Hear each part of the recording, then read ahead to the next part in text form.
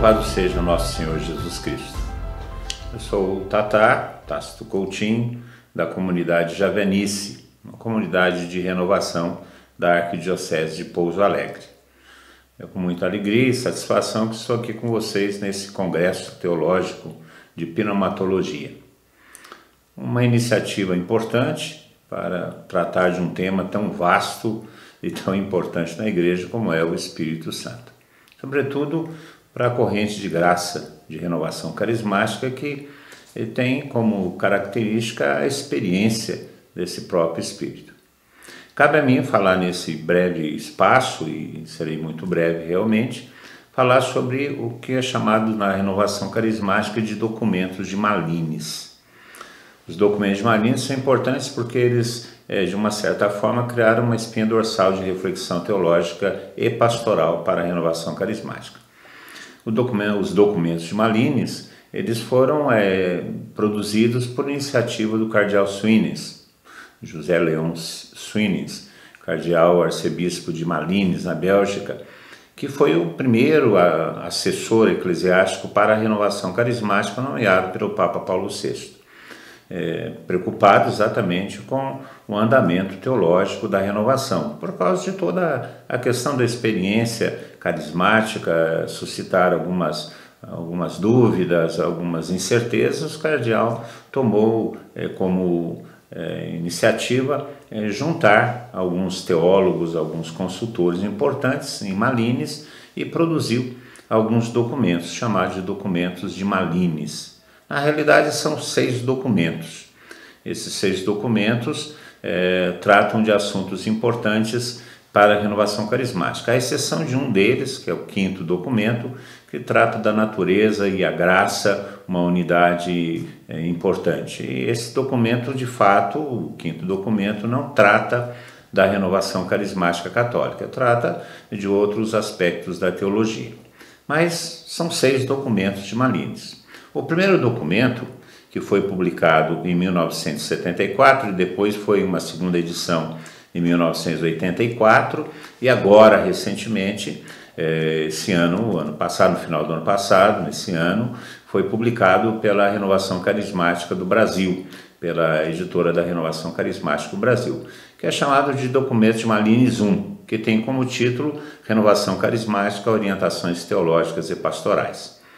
Esse documento é um documento é, importantíssimo porque trata do começo da renovação, 1974, quando as questões ainda estavam bastante quentes. Era uma novidade, a, renova, a igreja não sabia o que fazer com a renovação, o, a questão dos termos, como é que faz, carisma, dom de línguas.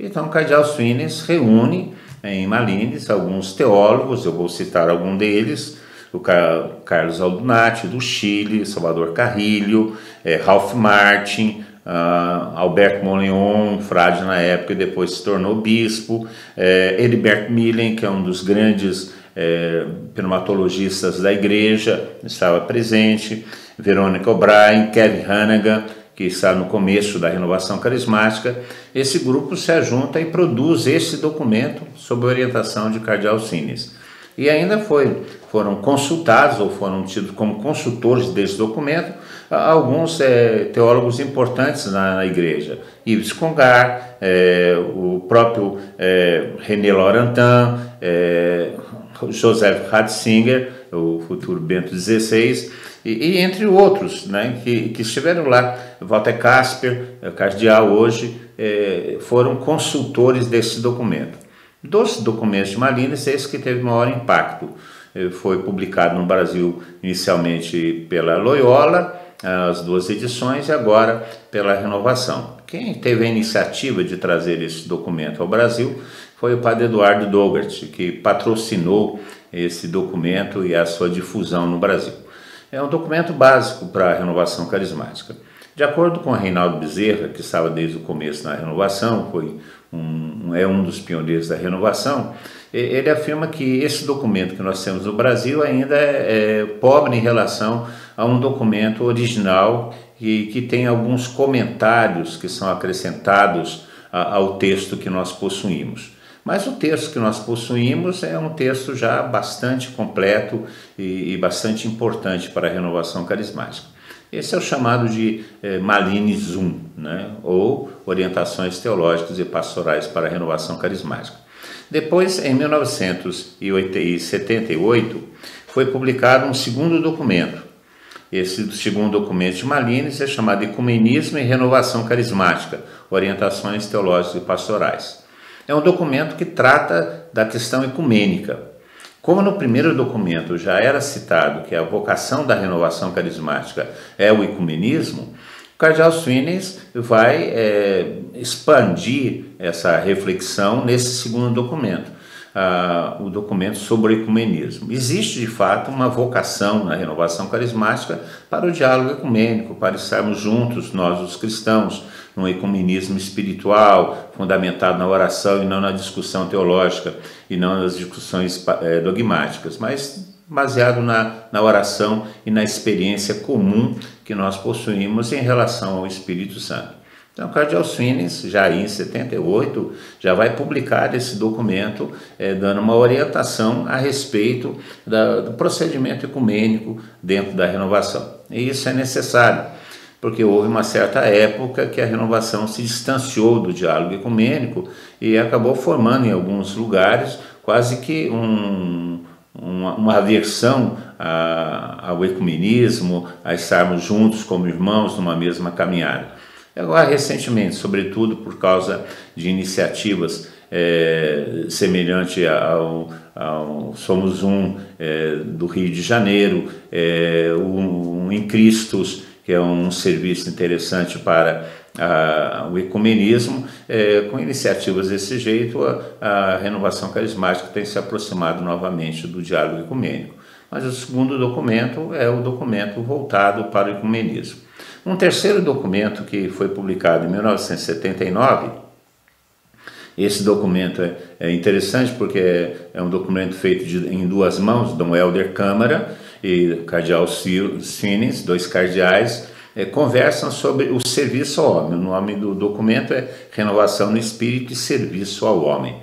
É, é uma aproximação, é, porque a grande acusação de que a renovação carismática é alienante e não se preocupa com a questão social, com o serviço do homem.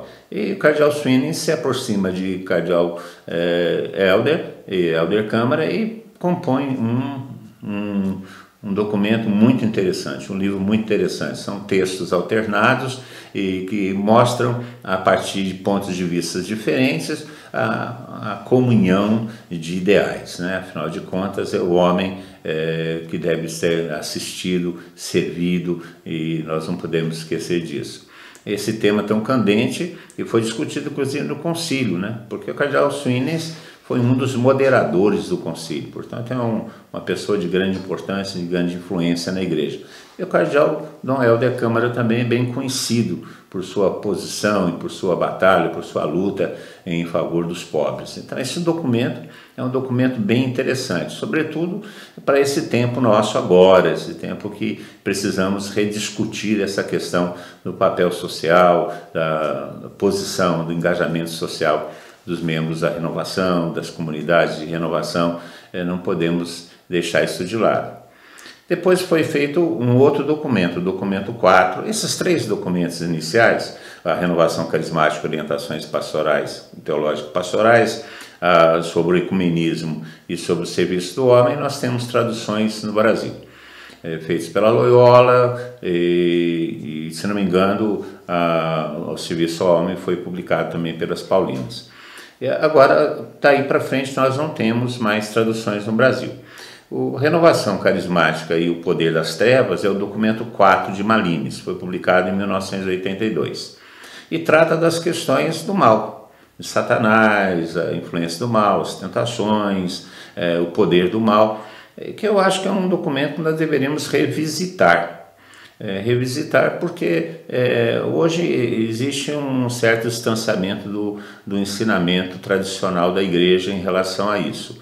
E esse é um documento pouco conhecido é, que valeria a pena é, nós retomarmos a partir dele. É claro que as coisas avançaram, hoje em dia sabe-se um pouco mais sobre isso, mas valeria a pena retomar esse documento para é, iniciar um diálogo mais fecundo em relação a esse tema tão controverso, sobretudo nesse tempo que nós estamos vivendo de pandemia, esse tempo tão controverso, esse tema tão controverso que é o tema do mal.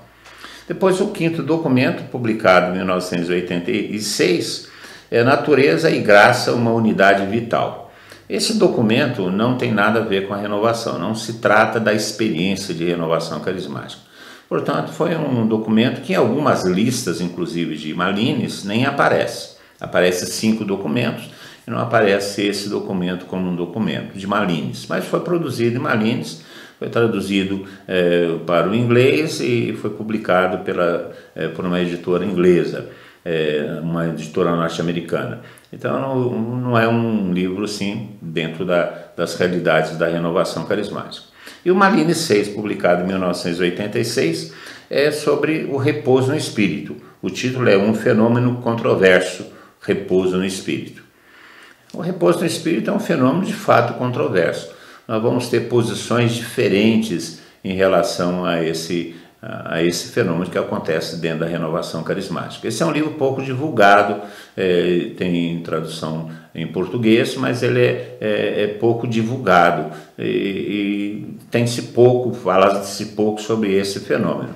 Mas o Cardeal Fines publicou também um estudo a esse respeito, uh, com algumas posições que vão provocar algumas divisões, algumas discussões, já que o Cardeal Fines não era muito próximo dessa, desse fenômeno, dessa, dessa manifestação, e exprime isso claramente nesse livro mas é um dos documentos de Malines. Então nós temos seis documentos de Malines. Um publicado em 74, Orientações Teológicas e Pastorais, um publicado em 78, Ecumenismo, em 79, a Renovação ao Serviço do Homem, em 82, a Renovação e o Poder das Trevas, em 86, a Natureza e Graça, que não tem nada a ver com a renovação, e em 86 também a questão do repouso no Espírito. Eu acrescentaria um, outro documento, estive conversando com, com o Reinaldo Bezerra esses dias na internet, e perguntava para ele se isso seria interessante, citar esse documento, esse livro também como um documento de Malines. E nós chegamos à, conclusão que valeria a pena. O livro do Cardeal Sweeney chamado O Espírito Santo Nossa Esperança. Esse livro, que também foi publicado numa edição portuguesa chamado Como um, Como um Novo Pentecostes, como uma interrogação, como se fosse um novo Pentecostes, podemos ver a renovação como um novo Pentecostes. Então, o título em português, na edição portuguesa, era Como um Novo, Pente... como um novo Pentecostes.